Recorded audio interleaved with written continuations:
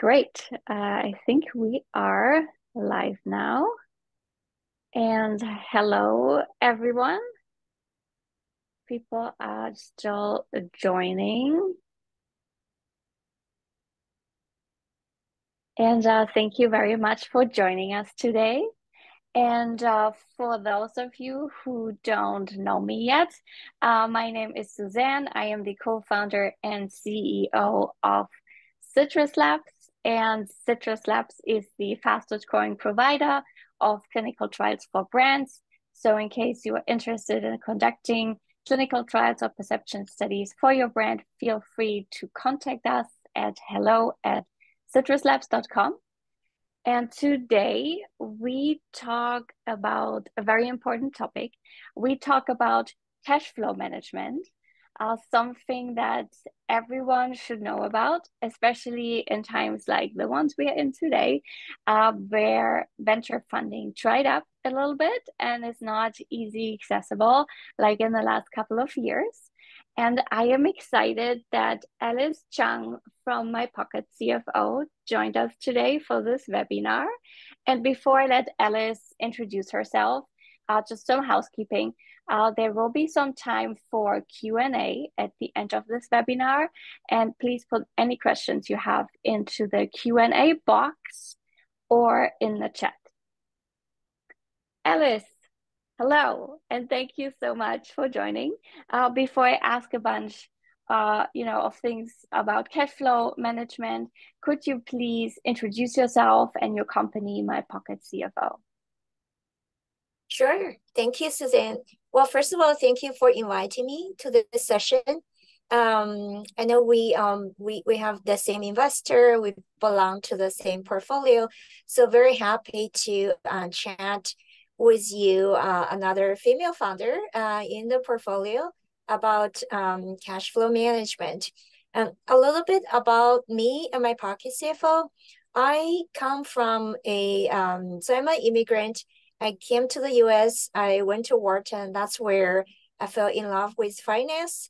After that, I became a basically trained finance professional. Um, I started my first career working as a FP&A analyst, financial planning, uh, financial analysis planning analyst at McKinsey, which led me to later on become the head of finance for Xerox Greater China office. So I was there for a couple of years and then I missed um, working for startups. So I came back to the Bay Area a couple of years uh, ago, actually back in 15.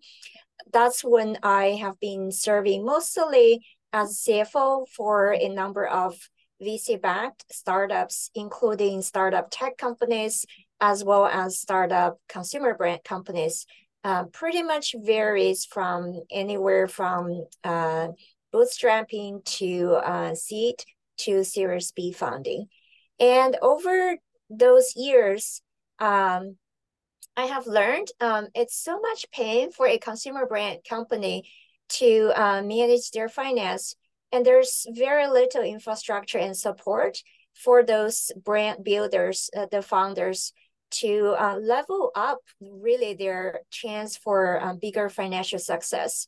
And I felt like um, there's an opportunity that I might be able to do something to make an impact in this industry. So um, that's when I decided to um, to to basically co-found my pocket CFO with my co-founder, uh, Eric. Eric comes from more of a CF, uh, sorry, CPA accounting background, where I come more from, as I mentioned, financial planning analysis and CFO background.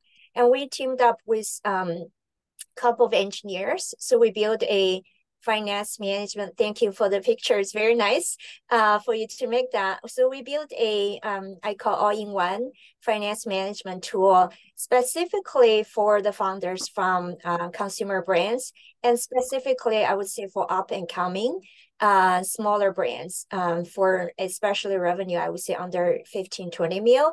I feel that's the, the area where a lot of the brands are underserved um, by um, by by financial support, and that's where my pocket CFO would love to uh, help support and level up the playing field to to partner with you guys basically for your financial success.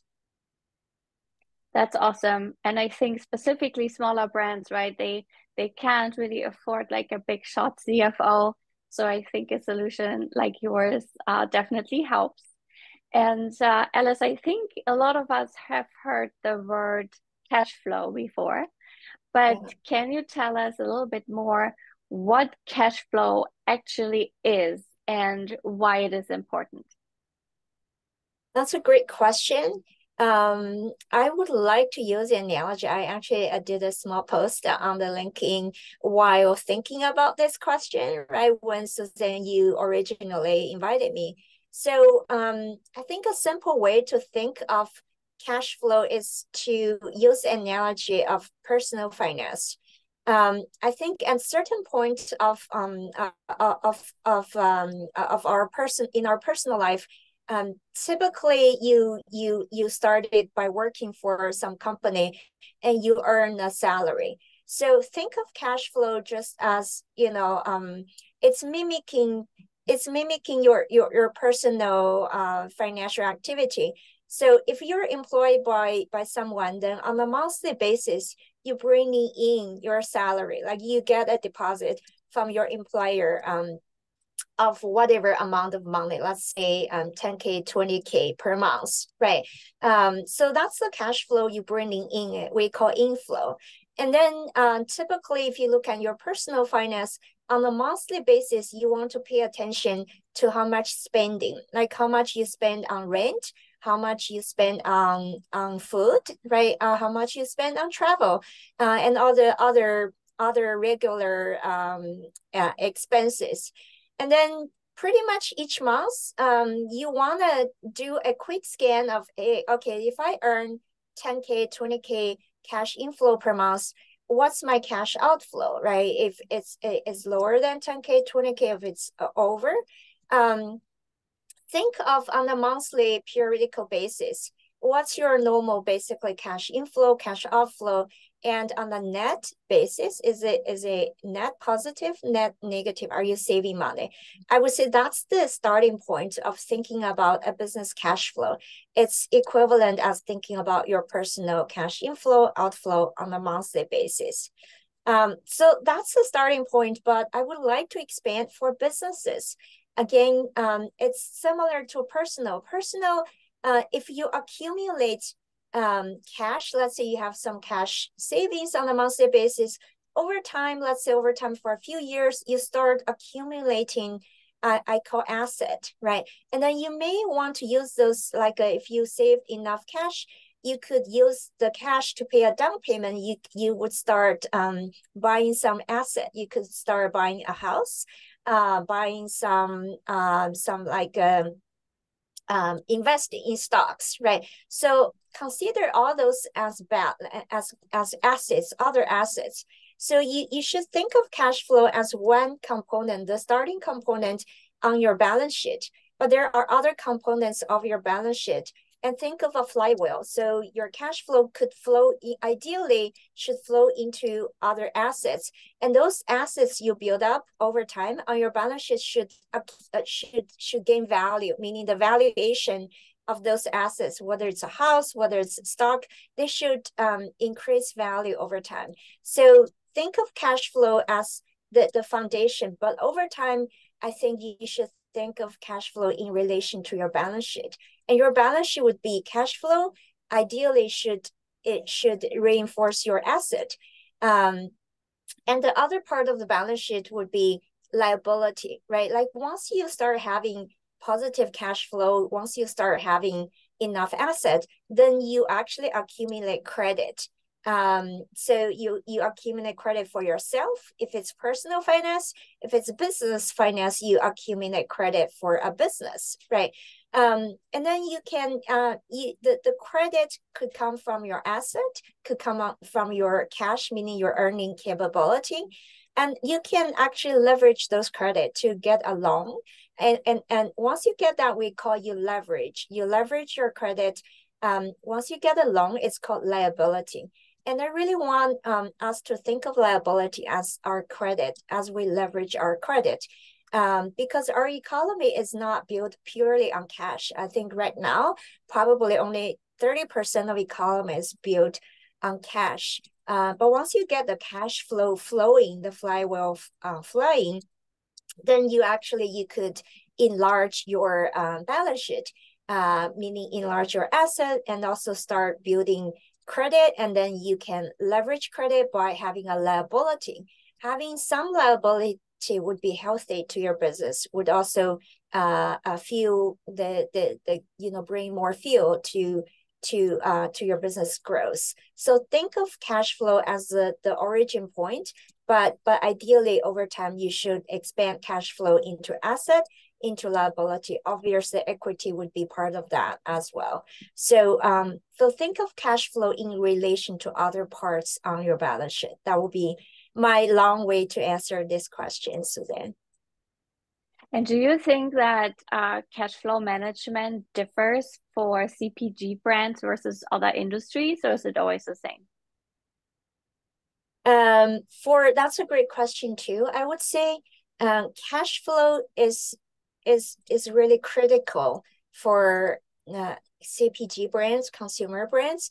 Um, comparatively speaking, especially when you compare to like a SaaS uh, you know, technology business. Mm-hmm. That's that's because for CPG business, you you have a very long, I call long value chain. Um, typically, you, you have to invest a lot of capital upfront.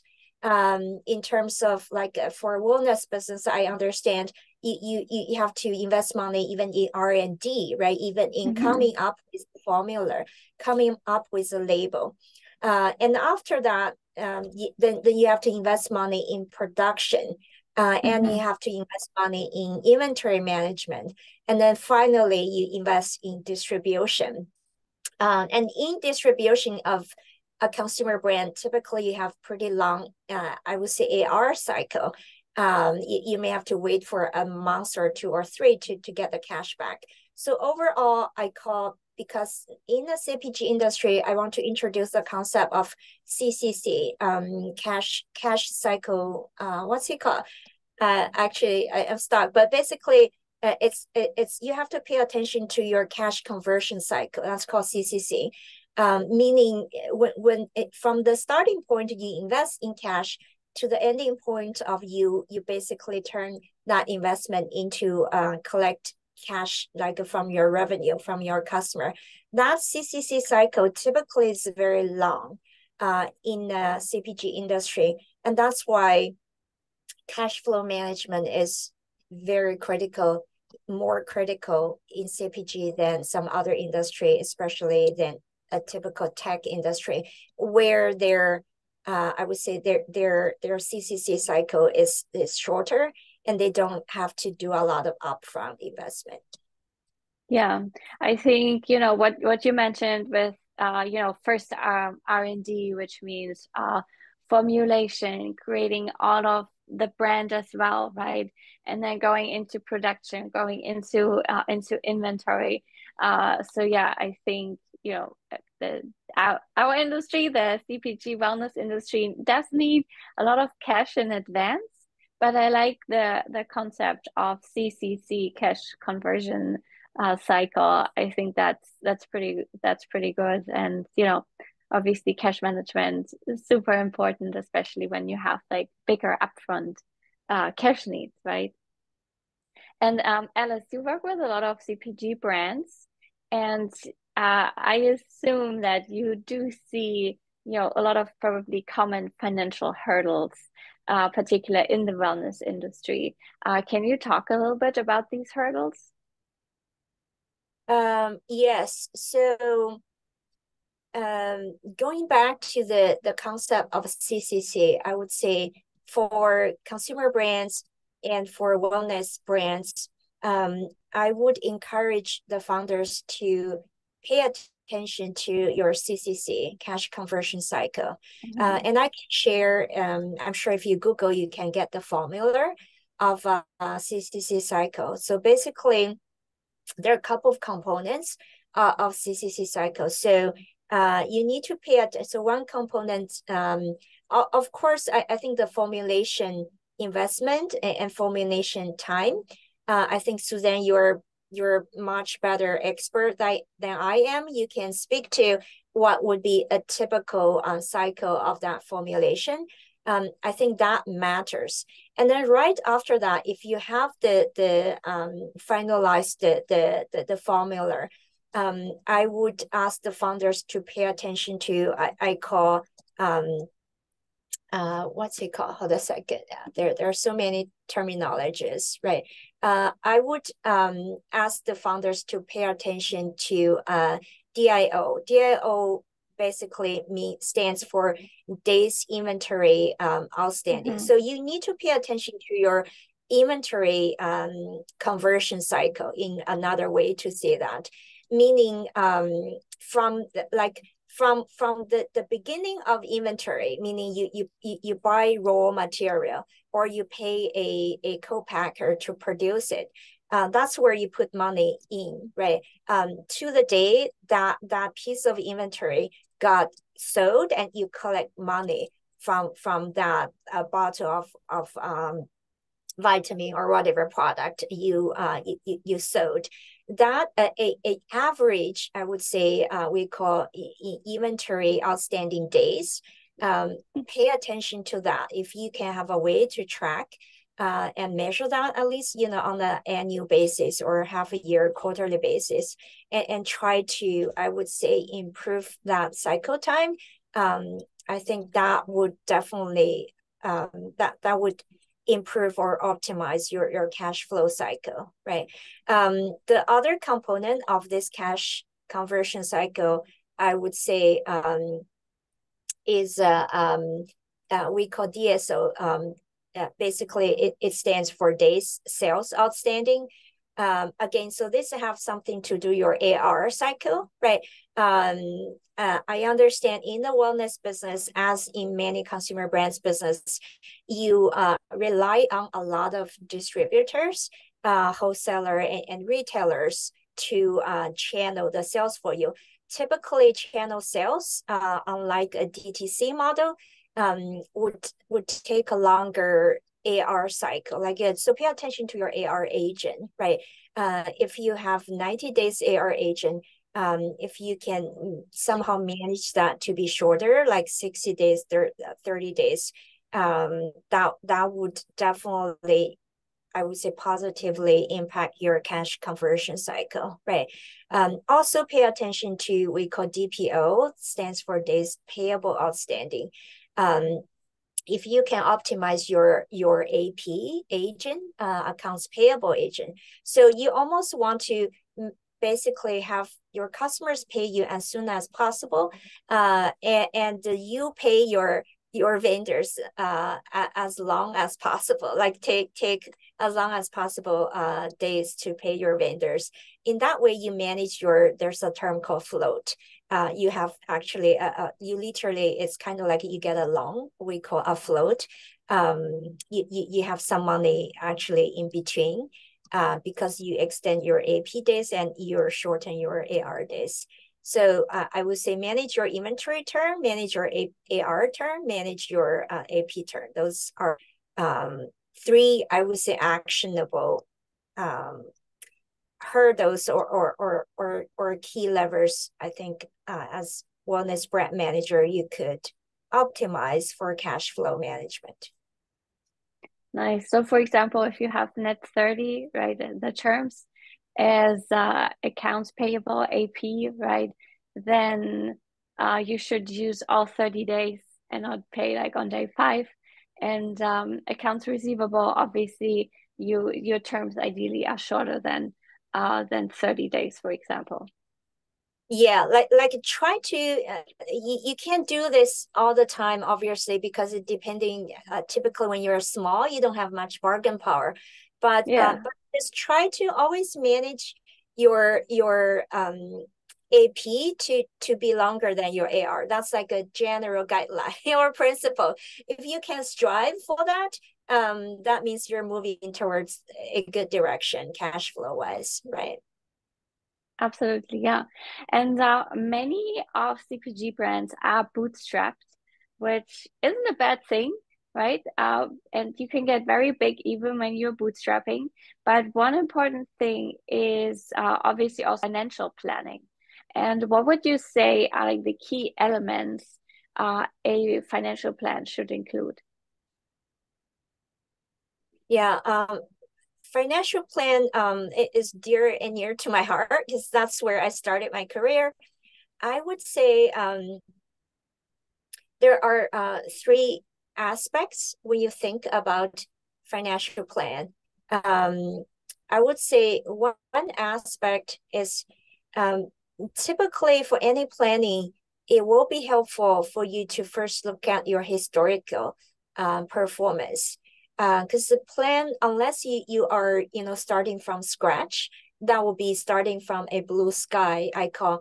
In most cases, um, you are in this business for a while, right?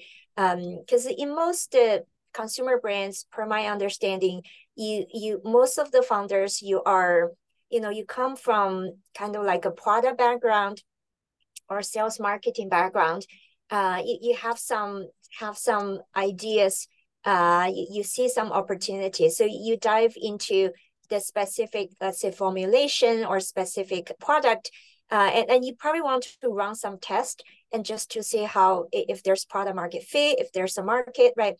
Um, so i would say when it comes to financial planning uh, typically it, it will be a good timing when when when you have launched your product uh, and, and you you see some signs of uh, I would say product market fit. Uh, even though it's bootstrapping, you, you can see like you can see a path that you can grow your uh, your your top line, your revenue, and and your customer. Um, typically, that's a good time to do financial planning. I'm saying that um, that's probably pretty unconventional. Uh, you know, as a financial planning professional, uh, I, I would I, I would advise against doing financial planning too early. Uh, because when you're too early, a lot of times when you just start bootstrapping, um, you, you, you don't have a, a stable operation, meaning you don't have a stable month in, month out cash flow. Uh, you don't have a stable how much investment you're gonna get it's very hard to do um, planning. So I would actually advise founders in the early stage against uh, spending too much time doing planning, but focus more your energy on getting the product off the ground, like spending more time with Suzanne, and getting the formulation out, test it with the market, right? Um, when is a good time to do planning is when, when, when you see the product is out, uh, when you're about to invest a big chunk of money to the co-packer to start producing it. Uh, so that's a good time to do planning because um, as you see that you, first of all you, you see your your business is gonna it's gonna take on another level um, but also it would require a bigger investment both investment to produce a big batch as well as uh, once you produce a big batch you need bigger investment to um, to probably invest into into marketing and sales. Uh, you need to investment into trade spend, right? You need to go to those trade show. You need to talk to distributors. So overall, if you see a significant uptick of investment and significant expectation on the top line, uh, and associated bottom line, meaning associated operating spending, then it's a good time to do a, a, planning. And financial, um, I would say milestone wise, I, I would say typically when you hit about, um, um, Suzanne, you can advise me. I, I think for other brands, some like food and bev brands, I would say when you hit about hundred K, um, that typically that that that that's to me that's kind of the threshold where you you, you proved uh, at least in a small niche market, um, you can sell up to this volume. I would say anywhere if your sales hit between 100k to 250k. Uh, again, for for wellness brand, maybe you, you have your own consensus, kind of what what would be a good hurdle. Uh, I'm I'm all my ears to hear your feedback.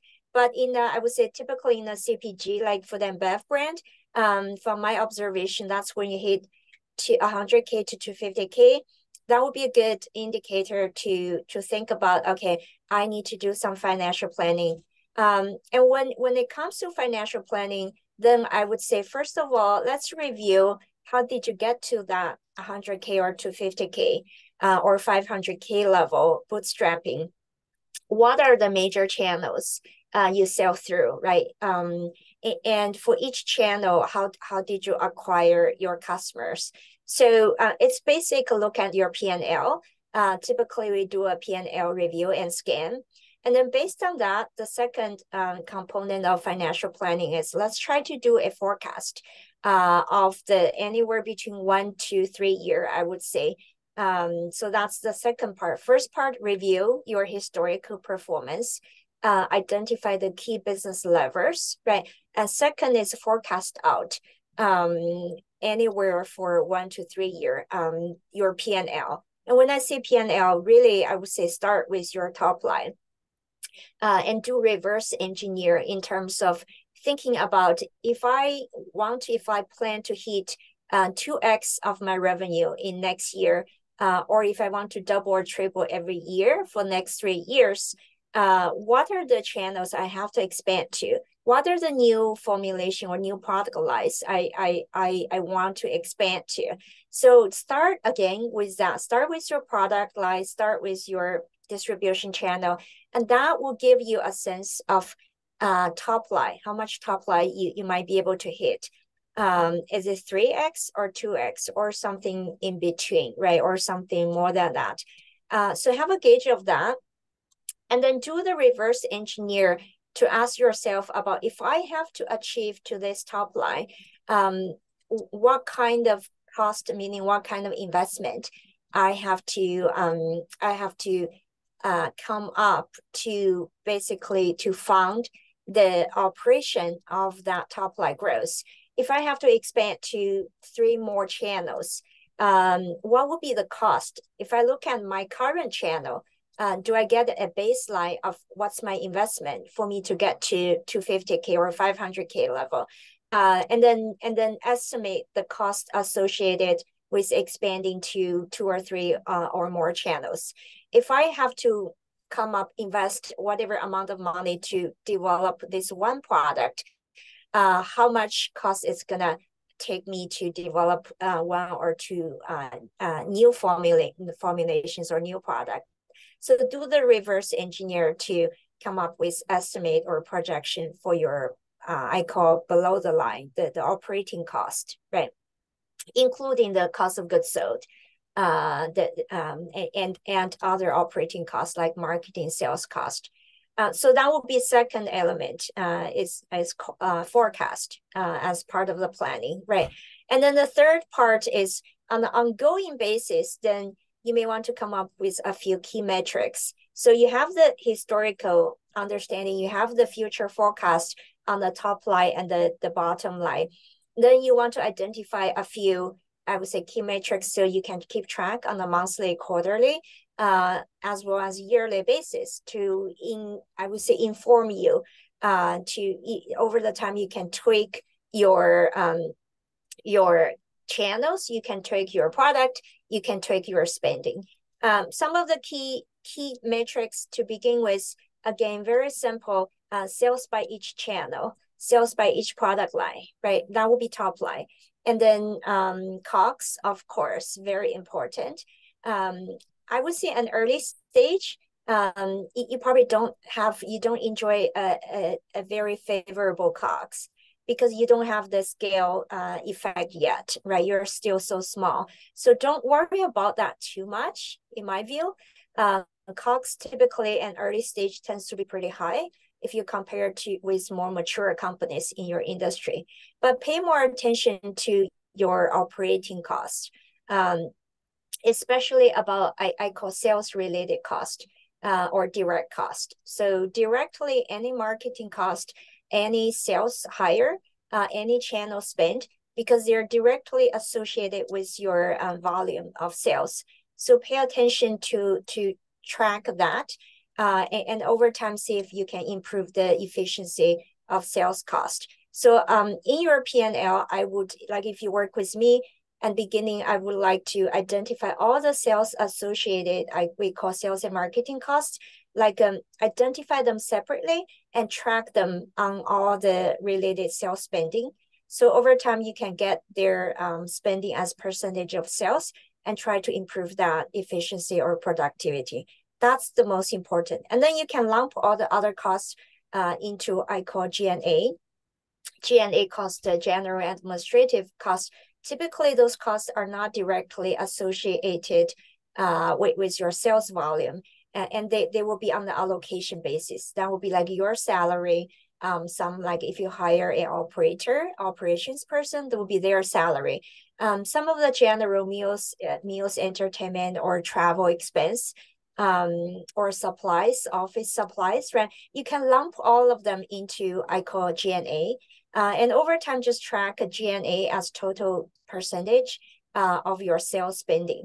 Um, that's the easiest way for early stage, um, I would say for bootstrapping or early stage brands to keep uh, track the matrix. Really pay attention, I would say sales by channel, um, COGS, uh, uh, sales related costs as percentage of sales, and then all the other G&A as percentage of sales. Keep track of uh, those like no more than five metrics month by month and, and see if you can optimize that.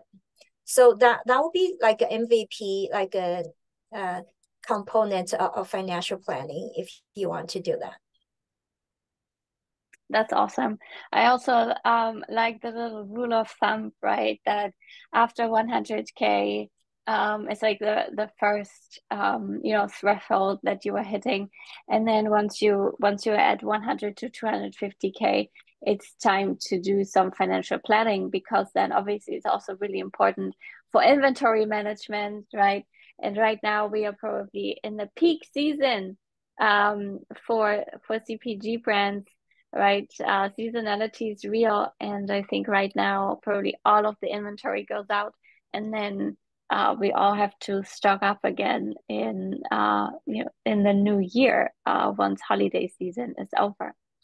And uh, can you recommend uh, what you just discussed? Right? Can you recommend any tools or any software for uh, you know effective cash flow monitoring and and monitoring uh, what's going on also on your balance sheet? Um, I'm gonna do a shameless plug. to be honest, I, I, I, I, um, I founded or co-founded my Pocket CFO because I, I haven't seen any any good tools out there on the market. Um, I just haven't seen any good accounting tool, any cash management tool, any forecasting tool, and all. To be honest, it's a pretty um in terms of tool support and tech stack, it's it's really poor from my perspective, in my opinion. Um, if you do want to, um, you know, to to manage that, I welcome you to contact me. I'm sure Susan uh, will share my contact. Uh, that that's what my Pocket CFO does is we help you basically first of all get I call get your financial ducks in a row. Uh, we we I know many brands. Um, I suppose wellness brands, no exception many brands at an early stage, uh, when I talk to many founders, they they they they have no clue about their financials on a month by month basis. A lot of them they, they just wait until end of the year when they have to file tax. Um, mm-hmm. They just hire some accountant. They pay a couple thousand to you know tens of thousands to to do one time filing um, but but this put them at a disadvantage because throughout the year they're in the dark of their financial performance. Uh, and, and that's precisely why I encourage you to talk to me uh, to use my Pocket CFO because once you get on board with us, we do um we, we automatically do the bookkeeping for you and we month on a month by month basis uh we we do your book and we reconcile your book. So month by month, um you at least you get a reconciled P&L and balance sheet. And we also do a CPA review and CFA review where I would I would talk about all the things I just talked about uh, to review like your top uh, top line sales metrics, to review your COGS, review your operating expenses and suggest ways you could uh, uh, optimize those metrics. Uh, and, and, even more than that, I would say most of the startup brands in the early stage, typically you have a negative cash flow. Going back to our topic, cash flow. Uh, that's because you're bootstrapping and we need a lot of upfront investment. Um, and, and those investment, they invest upfront and the, the, they, they will be looking at return probably a couple years later, like two or three or five, seven years later. Um, so you cannot measure their return in short term. Short term, you're going to have a negative cash flow. You're going to have a negative profit. Then you need to look for external funding to fund your initial uh, startup. Uh, so that's where I typically talk to founders again when they're at the stage of even 100k to 50k, 500k, and a meal. Typically, I see those are milestones, and then cup of meal, right? Um, those are all kind of stepping stones. You, I, I see portfolio brands in in my pocket CFO. They they grow. Um, and and each growth stage we could plan on on different capital sources to fuel your growth. So you may look at uh, getting a loan. You may look at uh, um, getting alternative capital. Uh, even like APAR, there are plenty of digital, like digital APAR lenders out there. Like you could finance your invoices, you could finance your PO, you could finance your inventory. Um, and then obviously, ultimately, a lot of uh, founders want to get investors, equity investor, where they become a share, you know, shareholder or potential shareholder, they invest money in the long-term growth. So all those, um, I, I think once you hit above 100K, even as low as that, uh, grow to 250, 500 a meal, couple of meal to 10 meal, you will need different capital injection to fuel your growth. Um, so that's where we can also talk about that. You, you need those injection of capital to fuel your your month by month cash flow. Otherwise, you have to be break even on a month by month basis. Um, but if you break even, that may limit your growth potential. So it's a balance act. Um, so that that's where I would say uh, I believe you you need to talk to a, a CFO level. You need a tool to give you uh, to review those those key metrics and then uh, uh, you need to take those key metrics as input and, and, talk to a CFO, you know, like me to make decision in terms of should I get more capital from outside? Should I loan, get a loan, or should I get some investors' money? Uh, or should I pour into more of my personal money? Um, based on the growth you you plan for your company. So they're all kind of uh, integrated together. Does that help? Does that answer your question? I think that helps, and that uh, definitely answers the question.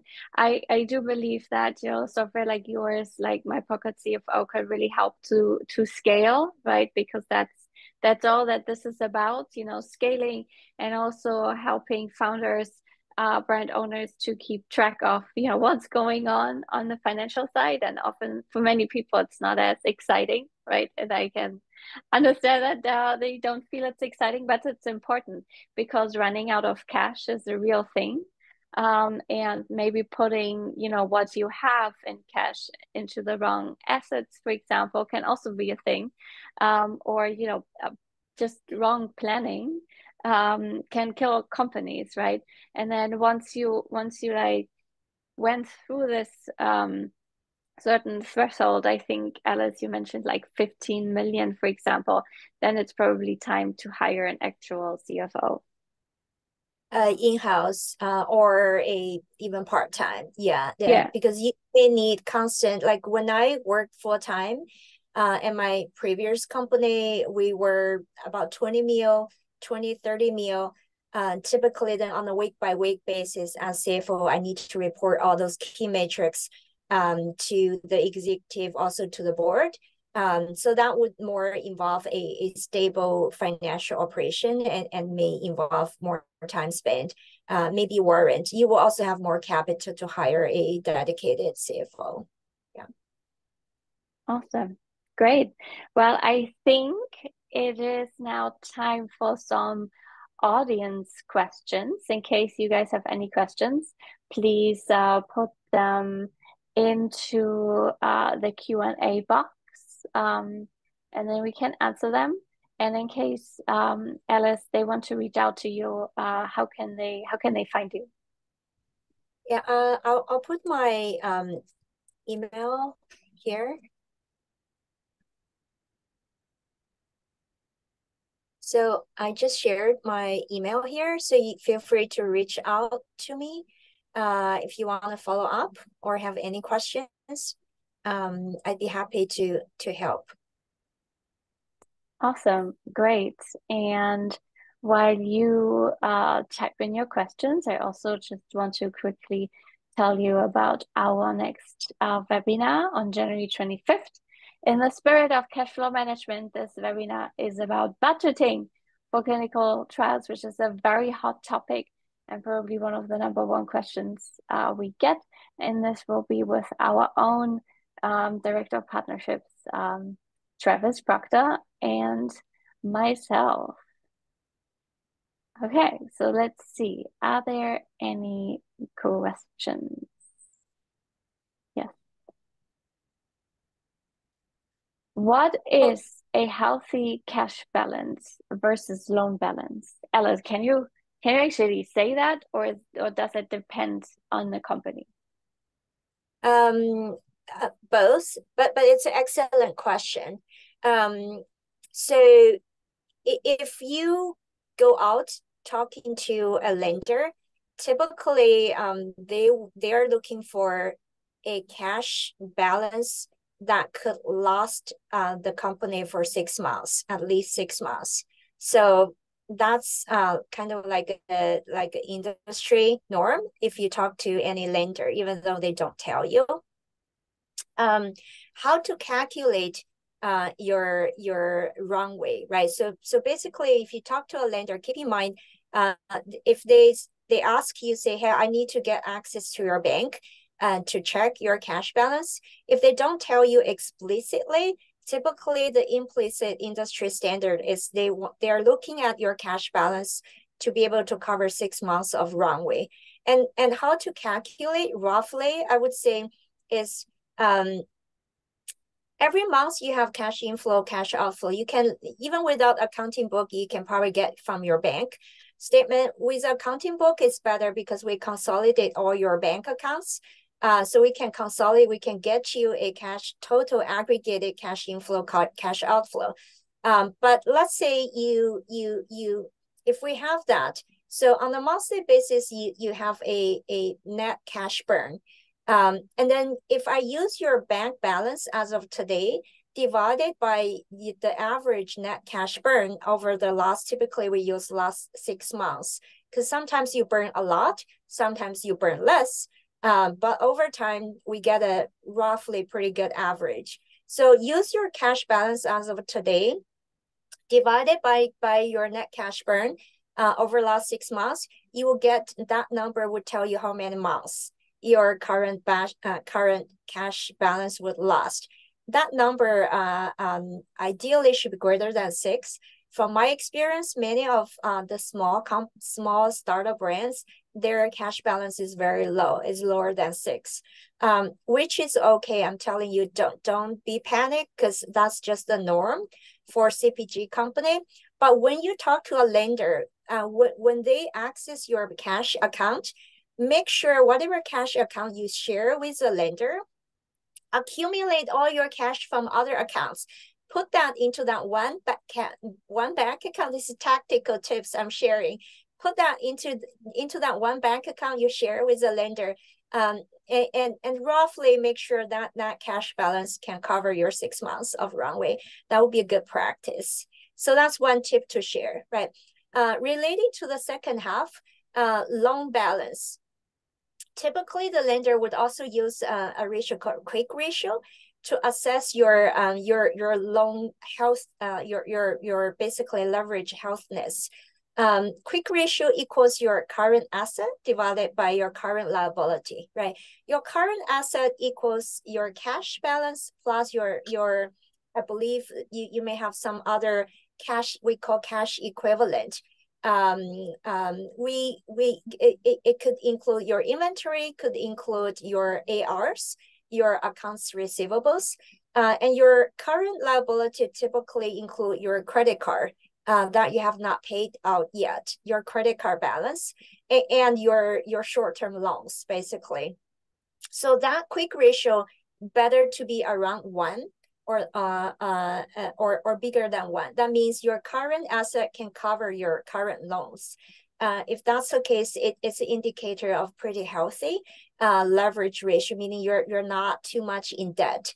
Uh, your asset can cover, can pay, still pay out your liability. So those are, um, I think, some of the uh, key ratios when you talk to a lender, even before they disclose to you, you may want to pay attention. Make sure the ratio is uh, is is roughly healthy.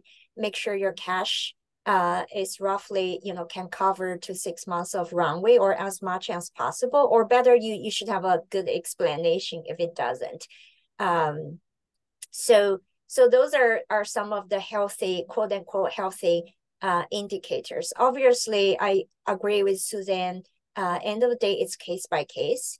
Um, but but there's also this kind of I would say standard you want to at mm-hmm. least be aware of. Yeah, that makes that makes a lot of sense. Okay, are there any other audience questions? But that's a great question. Thank you for asking. Yeah. So one question is, uh, is there a way to calculate cash runway using your EBITDA. Maybe we should also quickly discuss what EBITDA means. Yeah, EBITDA earnings before uh, interest, tax, uh, depreciation, and amortization, right? Um, uh, I, typically, ca- cash runway we, we don't. So EBITDA reflect your earning. Uh, it's a profitability um, uh, metric. If you earn positive EBITDA, uh, it means you, literally that EBITDA, that's your earning. That that would be uh, next year, like that positive EBITDA will be included uh, or transferred onto your balance sheet as part of your asset, uh, as part of your actually uh, uh, your your your equity. So accounting wise, that that's how we treat EBITDA. It, it's it, it it shows your um your management capability to like you spend whatever amount of money in a year and you can manage to make a profit make a earning positive earning out of that. That shows your the the shrewdness uh, of your management. Um, whenever we talk about cash runway it's it's a different metric it's literally we, we use your uh, again your cash position in your bank or aggregated cash position from all your banks. And we use that, it's a really simple metric. We use that divided by your cash uh, outflow or, uh, or your net cash outflow. Um, that's actually a, just a, a, simple way to, to, um, to calculate your, your runway. And when, when, we, when we do your cash outflow spending, again, it's important we do an average out, uh, again, because cash outflow fluctuates. So I would say those are, are two separate metrics. EBITDA measures your management capability to, to turn a bunch of spending into uh, profitability for the company, which is really, really good if you can do that, uh, especially an early stage. Uh, typically, uh, I would say EBITDA and early stage would, would be uh, the, another term for EBITDA is operating profit, right? So, or if you can make operating profit, uh, it, it really shows your operation capability. Um, cash runway typically is another is another aspect to measure your capabilities to measure your capability to um you know to to to keep keep keep yourself in the in the in the running in the business uh, without drying, you know, out of cash or without dying out of cash. Both are very important metrics um, and, and shows different aspects of your management capability. I would say do the cash runway first. Um, that's if you run out of cash, obviously you, the risk of dying is higher. Um, a lot of the early stage brands, they, they may not be a bit uh, positive for a while, which to investors, to, I, I think it, it's okay as long as you can get extra capital to fuel your growth. Um, so so cash is to me is more urgent, probably more critical in the near term versus ability to turn to to to to turn out a positive EBITDA is more uh, reflection of your longer term management capability. I hope that answers your question. That was great. Thank you so much. And thank you so much also for for sharing your knowledge, uh, Alice. This was very uh, insightful. And everybody, thank you very much for tuning into our webinar today. And a little off topic, but also some uh, shameless self promotion from my side. Uh, Citrus Labs, the host of this webinar, provides clinical trials for brands. And if you are thinking about conducting your own clinical study, please reach out to us. Uh, we're happy to talk. Just send an email to hello at citruslabs.com or visit our website www.citruslabs.com and fill out our contact form and a member of our team will be in touch ASAP. And, uh, you know, again, our next webinar will be on January 25th uh, with Travis Proctor, our Director of Partnerships, and we're talking about budgeting for clinical trials. Um, in case you want to register, there is a QR code on the top uh, left of this slide, and it will be super informative how to plan for your budget um, when you want to conduct a clinical trial, uh, which is again typically the number one question we get as a company. Um, and Alice, thank you so much uh, for your time. And uh, pleasure. Thanks, thanks everybody for tuning in and have a great rest of your day. Bye. Thank you. Bye.